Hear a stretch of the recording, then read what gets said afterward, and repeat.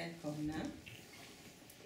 Mitt namn är Linella Gran och jag... Eh, och detta är... Per Sandberg. Jag är uppvuxen i Japan och därav min passion för den japanska kulturen.